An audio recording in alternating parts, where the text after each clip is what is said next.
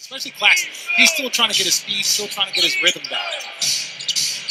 D'Angelo Russell misses on the high archer. Offensive rebound. Okogie, look out! Tim Burr. DeAndre Bembry goes down hard. Oh, when he didn't have anything to break his fall, he came straight down on his back.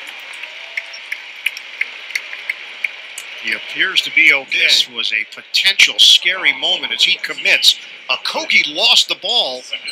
And you can see Okogie trying to yeah, catch him, trying like to- trying to catch him, and that, that's just good sportsmanship right there. Because you know every player has been in that.